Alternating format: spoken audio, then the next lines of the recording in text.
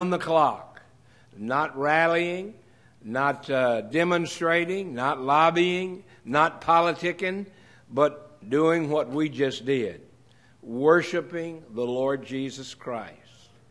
We need her there at night because at 9 o'clock at night they won't let us have amplification.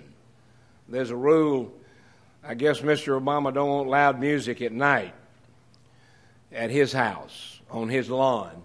So we have to turn the PA systems off at 9 o'clock and can't turn them back on until 9 o'clock the next day. But we're going to be worshiping all night. And I have a feeling that there'll be some young ladies like her and young men that don't need too much amplification that'll be coming out loud and clear. If you can go to Washington, D.C., it'll be for 40 days on the backyard of the White House. It will be on the oval shaped ellipse. It's the oval altar for the oval office. The oval altar for the oval office. And if you can go, you're welcome to be there. If you can't go, I have coined a new phrase boots on the ground or prayer in the air. I'll have boots on the ground. I'll be there for about a week, and then I'll have to come back home. We'll be worshiping in that tent round the clock, 24 hours a day, with boots on the ground. And then some of us will have to come home, and we'll still be prayer in the air. Now, if you would like, you can see me. I'm not passing out cards, but if you'd like to get the phone number and the access code for that tent that you could call when I'm there and say, I'm a prayer in the air for your boots on the ground. You see me after church, and I'll give you the phone number and the access code that you can call. By the way, that number's good every day uh, seven days a week at 5 o'clock. That's when we pray from here and around the world. But uh, we will be worshiping the Lord Jesus Christ. Not going to be preaching, not going to be teaching, not going to be talking politics. We're just going to praise Almighty God.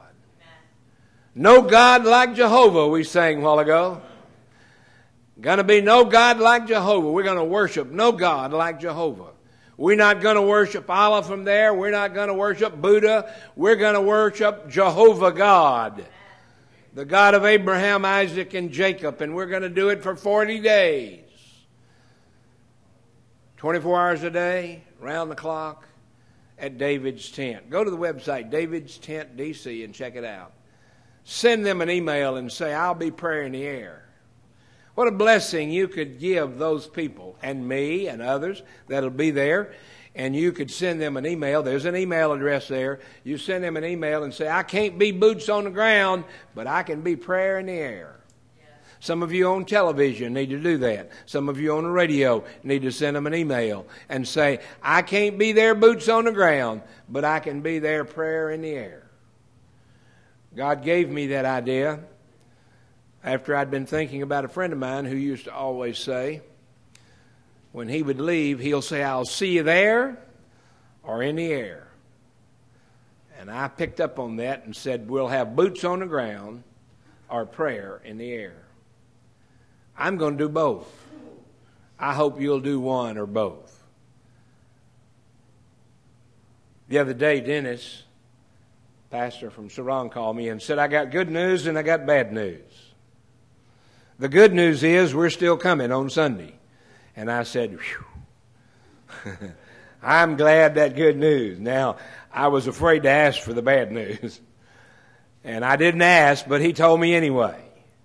The bad news is, he said, our pastor that we had scheduled to come is not going to be able to be there.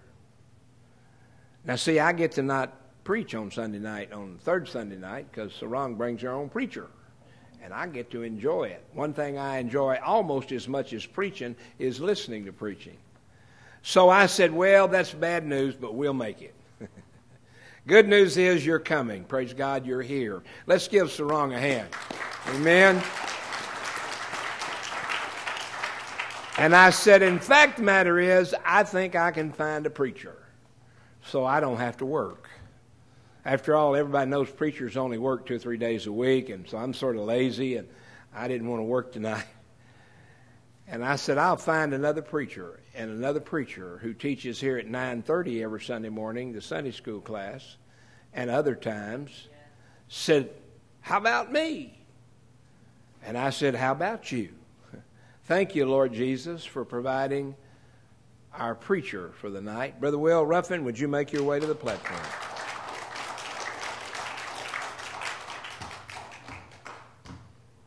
I'm going to do two things. I'm going to have prayer for him and with him, and then I'm going to go sit down and I'm going to do what you're doing.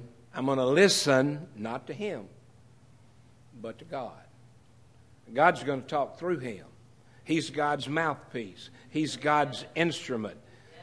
And I'll tell you why I know that because the Bible says God's anointed, and I'm going to anoint him. And I'm going to pray for him, and he will be God's mouthpiece. Father, in the name of Jesus, I ask you to anoint my brother with the presence and power of the Holy Ghost. And I pray that you will preach to me and to each person within the sound of our voice the message that you want us to hear. In Jesus' name I pray. Amen. Amen. Brother, God bless you.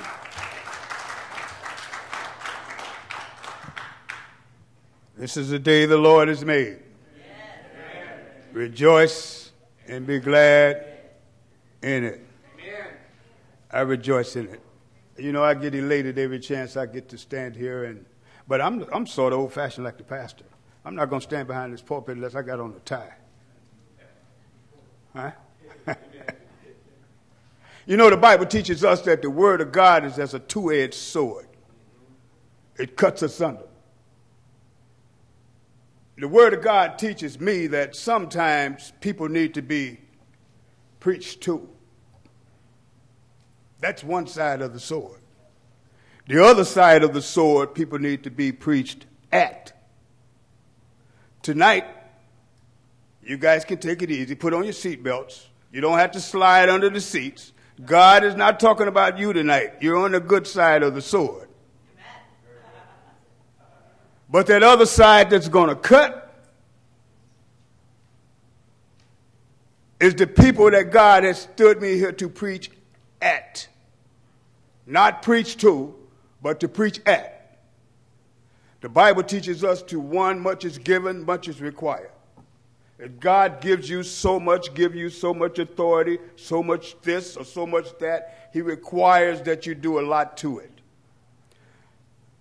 Tonight, the Lord has led me to teach about unfaithful shepherds. So that's not you. Pastor's a shepherd. Unfaithful pastors. See, I had a good teacher. I listened to the pastor a lot. And pastor tells me, in word, I must do what God say. I must obey God rather than man. Now, the man in me wanted to teach Revelation 1. But God said, Ezekiel 34. So if you have a Bible, open your Bibles, if you will, to Ezekiel 34. I want to pray for those who get their feelings hurt today. For those pastors that's going to get their feelings hurt today, because if they do, they should be thankful that they had the Spirit of God. Because if they didn't, they wouldn't feel guilty. But God got some choice words to say to them in Ezekiel. First, I must pray for myself. Father, I do lift myself up to you. Hide me behind the cross, Lord. I pray for each individual here, those that's within the sound of my voice, Lord. I pray that your word will go forward and accomplish that which you send it out to do. I don't care if somebody gets angry at me, Lord, about what they what you say to them. It's not me that they need to have a conversation with. It's you, Lord. Lord, I pray you would bless those that's listening Open their ears, eyes, and hearts to the revelation of our Lord and Savior Jesus Christ. Also, Lord, bless those less fortunate than we are. All these things I pray for in the name of Christ Jesus, our Lord and Savior. Amen. Amen. I feel like Ezekiel right now because, like I say, I wanted to teach on Revelation. But Ezekiel says in Ezekiel 34, verse 1 And the word of the Lord came unto me, saying, Son of man, prophesy or preach against the shepherds of Israel. Now, this is Israel to you. This United States of America is Israel to each and every one of us. This is a Christian nation. This is Israel to each and every one of us. And God is telling me to preach against a lot of these pastors in the United States. Not because I want to, but God says prophesy against those shepherds in Israel and say unto them, This ain't what we'll say. Thus says the Lord God. Amen. Thus says the Lord God unto the shepherds. Woe be unto the shepherds of Israel that do feed themselves. They sit around and read the Bible and they know what God say. But God, pastor just got through saying, be ye doers of the word, not just hearers only. They feed themselves. God says you don't go out into the gaps. You, go, you don't go out into the places where people are separated away from me. That's where you need to go. They do feed themselves. Should not the shepherds feed the flock? And what does Jesus Christ, our Lord and Savior, say? My sheep hear my voice. Hear my voice. But he has appointed under shepherds. Because the Bible says, How will they learn, Lord, if they have no teacher? God says, You eat the fat. You eat all of God's word and you get comfortable when you clothe yourself with wool. You get comfortable. Oh, Pastor, some people might turn their computers off. some of these pastors listening over the internet might get mad when they feel convicted. But God has already said what he had to say to them, even when they turn the computer off. You eat the fat and clothe yourself with wool, and you kill them that are fed. And most of us that have not been introduced to Jesus Christ as our Lord and Savior, when you're in a mess, you call out to somebody. You know there is a God. So you are fed. You are fed. But you have some pastors that don't do pastoring jobs and they make people not even want to go seek God. So they kill your spirit.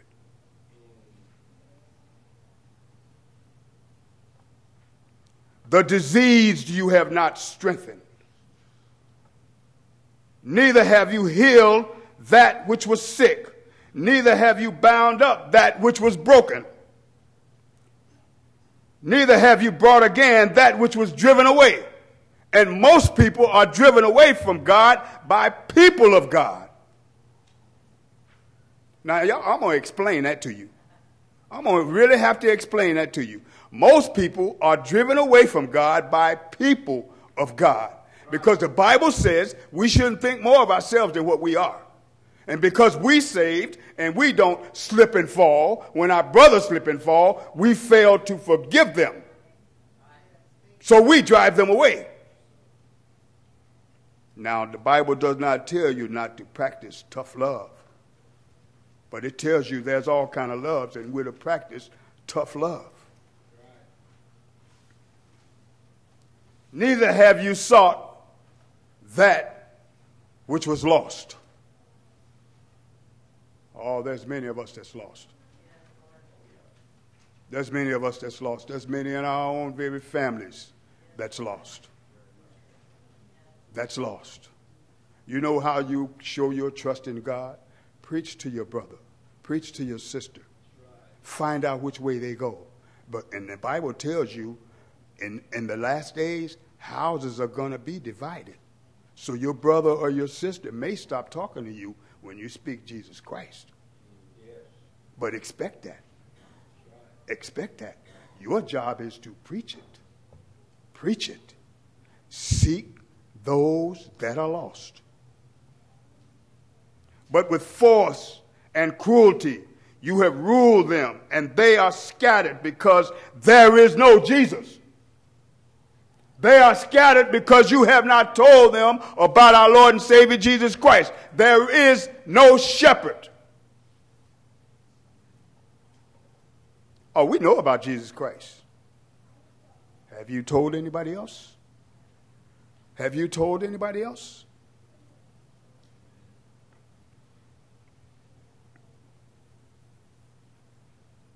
And they have become meat to all the beasts of the field and they were scattered.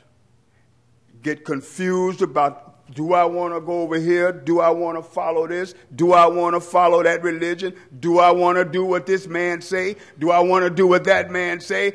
Other than focusing on God because you have not guided them. Many pastors have not guided them. There are a lot of churches, a lot of churches much bigger than this one. Got 10,000, 20,000 members. Most of them don't teach the whole Word of God. Because if they taught the whole Word of God, a lot of them pews would be empty. Most of them are what the Bible called ear ticklers. They preach what they sound like politicians. You know, when Obama go to Michigan, he say what everybody in Michigan want to hear. Then when he go to Indiana, he say what everybody in Indiana want to hear, and none of them are the same. When you don't preach the whole Word of God, you're not living the Word of God. Right. You're preaching self. You're preaching self. How is a church going to say, This is a member of my church, but go stay at Wiley World? But be here on Sunday and put your money in offering plate. But go stay at Wiley World. How is the church going to do that? Bible says you will always have the poor and take care of those, especially the household of God. The Bible tells you that if they're a member of the household, your household, you're supposed to take care of them.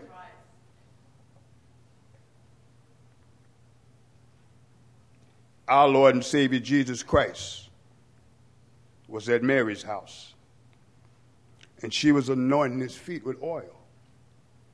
And Judas Iscariot say, Lord, what you doing that for? Don't you know we could sell that oil and give the money to the poor? Jesus said, leave her alone. You don't know what she's doing. You're going to always have the poor.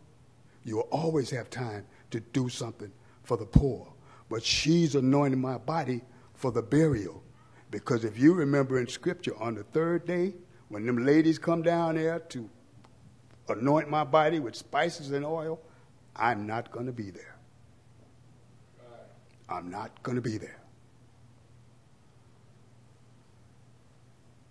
Ezekiel 34, verse 6. God says, My sheep wandered through all the mountains and upon every hill Yea, my flock was scattered upon all the face of the earth, and none, none did search for them. Our Lord and Savior Jesus Christ say, this is true religion, that you visit the sick, visit the homeless, the motherless, the fatherless. Seek after them. Bible, that's why the Bible also teaches us it's better to go to a house of mourning than a house of feasting. because you're going to lift somebody's spirit up. Go there talking about God. You're going to go lift somebody's spirit up, but you go to the house to feasting, more than likely you're going to go by yourself. You're not going to take God with you, and you're going to lose you. You are going to lose you. Verse 7. Therefore, you shepherds, you pastors, that's not doing what God said Therefore, there's many times our pastor stands up here and say, I'm catching a train from here to, here to Washington. And along the way, many pastors could join. That invitation is there. Because you know what the Bible teaches us? In the last days, there's going to be one that looks like the beast that's been wounded and has been healed. That's standing in a high place that's standing in a high place. And many are going to look toward him as if he is the Savior. There are many people looking at Obama like he's a Savior. Many people looking at Obama like he's going to fix the problems in this world. Many people. You know the Bible speaks about in the book of Revelation a political beast? That's that political beast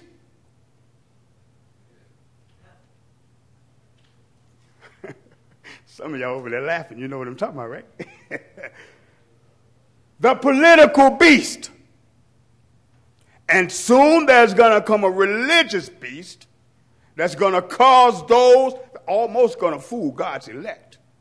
Going to cause those to, how can a man say out of this side of his mouth, he's a godly man, he's a Christian, and he have all the beliefs in, in, in God, but he don't believe in one man, one woman. He don't believe in thou shalt not kill. How can he say that? And he's and he says a man and a woman could get married. How can that man say he's a Christian? He come around Christians and say what Christians want to hear and get around politicians and do what politicians do.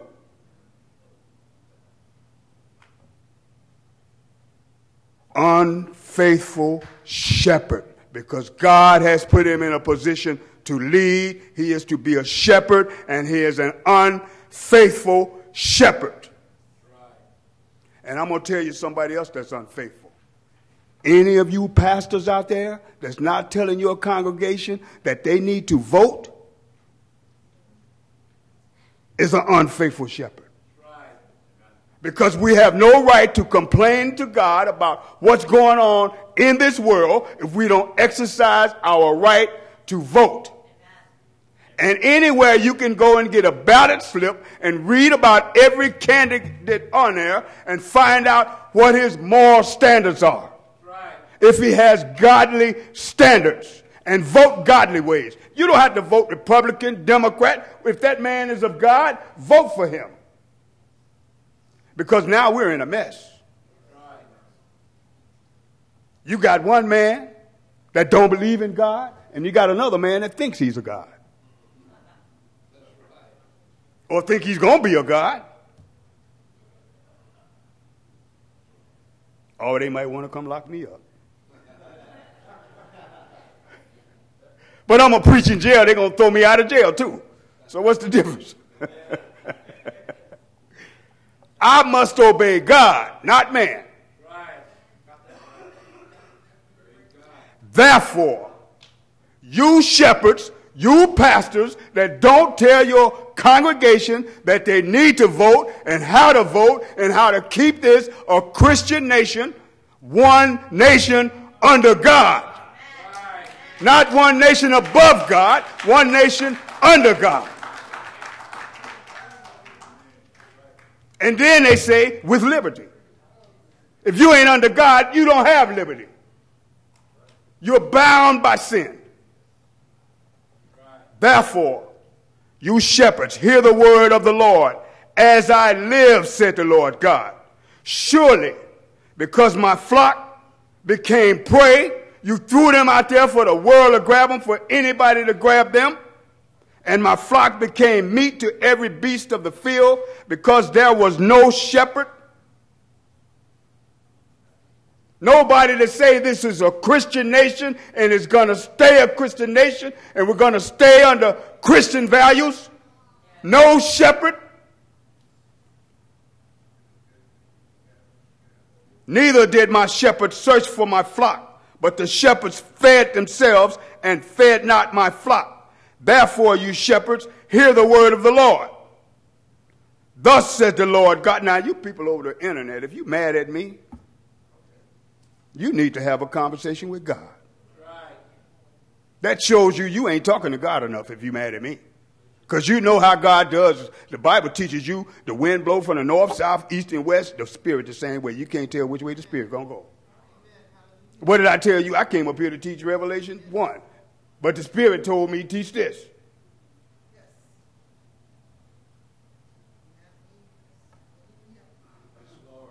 Therefore, you shepherds, hear the word of the Lord. Thus says the Lord God, Behold, I am against the shepherds. And if God be against you, who can be for you?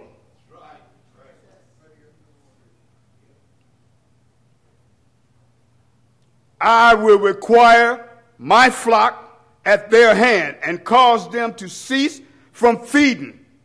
Cease, cause you to cease from feeding my flock. People gonna stop listening to you. Godly people gonna see those ungodly things that you're doing and not gonna pay you a bit of attention. These things are for you to know. This is what the Bible teaches.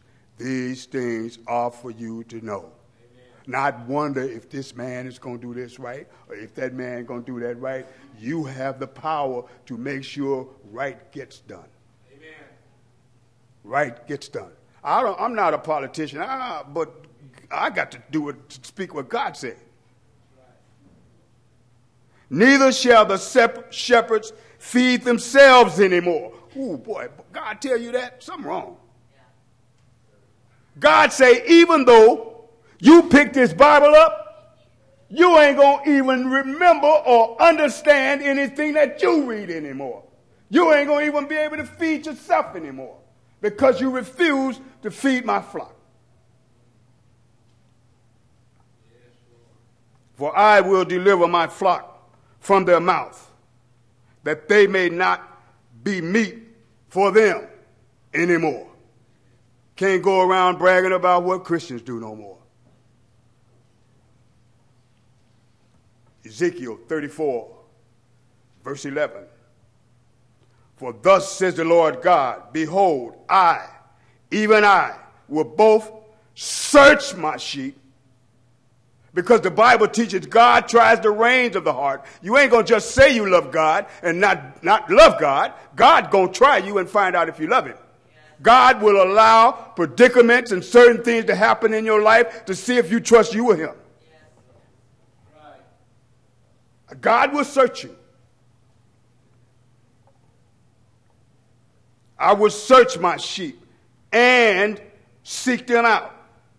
As a shepherd seek out his flock in the day that he is among his sheep that are scattered, so will I seek out my sheep and will deliver them out of all the places where they have been scattered.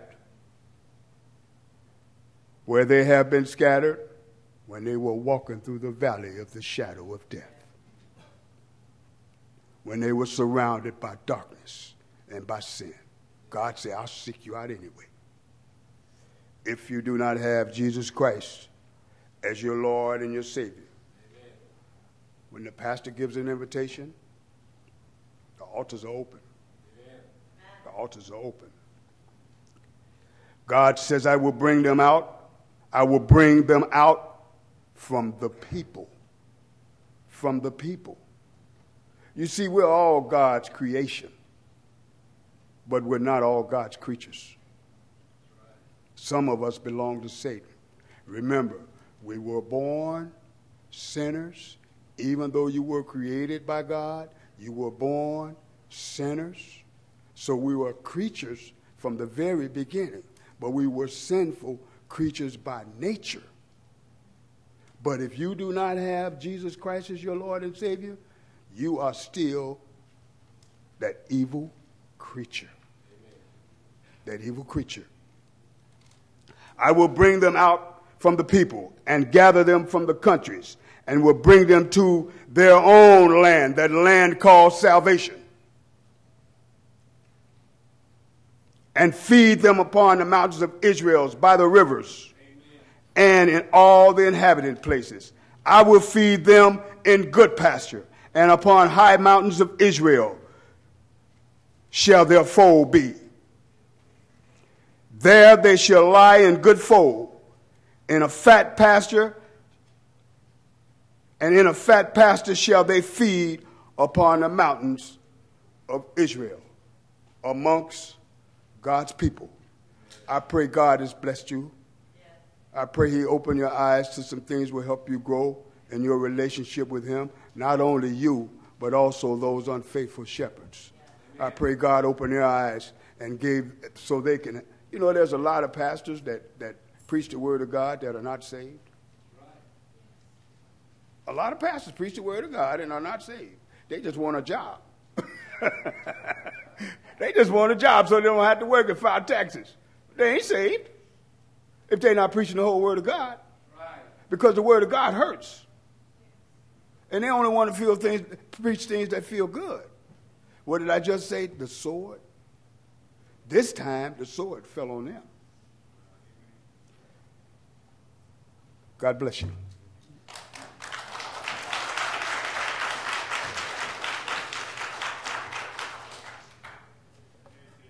Thank you, Lord Jesus, for our shepherd tonight sharing the Word of God with us. I want to ask our ushers to come forward at this time and we're going to give you an opportunity to give to this ministry called the First Southern Baptist Church of Buena Park. Whatever you give, you give as unto the Lord. These men are going to come and pass the offering plates. And as they do, may the Lord bless you as you give. I believe we're going to have someone sing or play during the offering. Do we have? Okay, come right on up. And after we do our offering, we're also going to talk to you about uh, a separate giving, and that is this blue box that you saw Brenda just come up and put a buck in. There's a group of people down in Branson, Missouri that's building a cross, a big one, 200 foot cross with a 100 foot arm on it.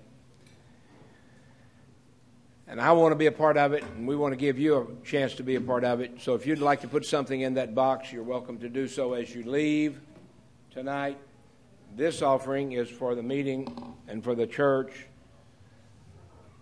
The offering in the blue box is for the Branson Cross. So go ahead and share some music with us, please.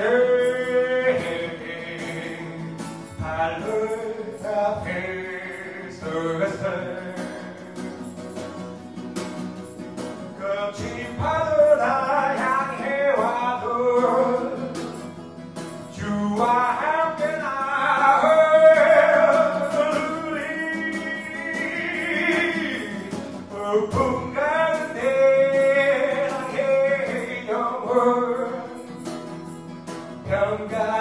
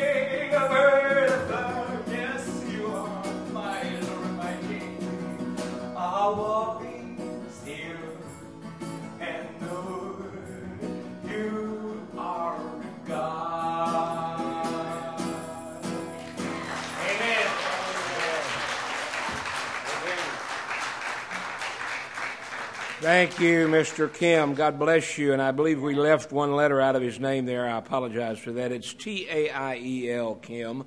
Thank you so much for blessing us. And let us all be reminded that we need to be still and know God.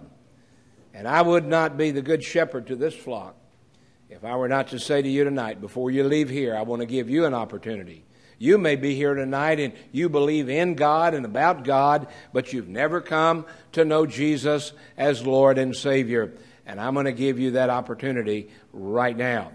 I want to give a couple of words of instruction. Number one, I want our fellows to close those doors back there.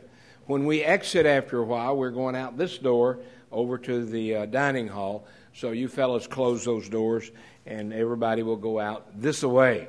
Now, would you bow your heads with me in prayer? Every head bowed, every eye closed, no one looking around. If you're listening to my voice over television or radio or here in the sanctuary, and you would like to invite Jesus into your heart and into your life for the very first time tonight. Now, if you already have Jesus, I want you just to say, Thank you, Lord. But if you've not done that and you want to do it, I want to give you that opportunity right now. So I want to ask if you pray this prayer with me, very simple prayer. And I would ask you to do this. With your heads bowed and your eyes closed, you would say, I believe that Jesus is God. And I believe that I cannot save myself. And I know in order to go to heaven, I must be saved. I must get right with God. And right now, I want to get right with God. I want to invite Jesus Christ to come into my heart and into my life and save me. And if you'll pray that prayer, watching on television, listening on the radio, or right here, God will save you based on the authority of God's holy word. And we thank the Lord for those. The Bible says when one person prays that prayer, there's rejoicing in heaven. And Father, we can almost hear the choir singing in heaven now because we know some have prayed to receive you. In Jesus' name we pray. Amen. One of the things God's Word does is tell us about special days, birthdays. We have a special birthday girl. Come on down, Brenda. And if you were born in the month of September, come on down and we'll celebrate with you your birthday. This is Brenda's birthday. Um, so if your, if your birthday is in September. We want to celebrate birthdays. We have how many? Four? All right, let's sing Happy Birthday. God bless you. Happy birthday to you. Happy birthday to you. Happy birthday. God bless you. Happy birthday to you. All right. All right. All right. They're going to receive their birthday gifts. And Brenda, as our food coordinator, just blew all of the calories out of that cake. They're all gone, and uh, we'll enjoy that over after dinner. Alan is missing. Okay, well, he's probably working. All right, they're receiving their gifts, and we praise the Lord for that. This is another part of the ministry of Sarang Community Church. They bring them gifts you guys get your gift and go have a seat, please. Now, in just a moment, we're gonna they're gonna take the cake out and get it over to the kitchen, and we're gonna have a Sarang group come on back. They're going to come back and do one more song for us. And uh, here's what we want you to do. I want this song to be our benediction, okay? I want the song to be our benediction. What are you going to sing? Do you know yet? What, what, what's it? What's the song? Church? Day of Elijah. All right.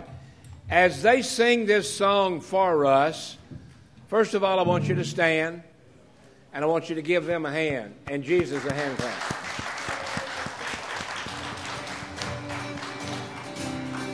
Now, as they sing, we're going to exit, and I'll have this box right over there.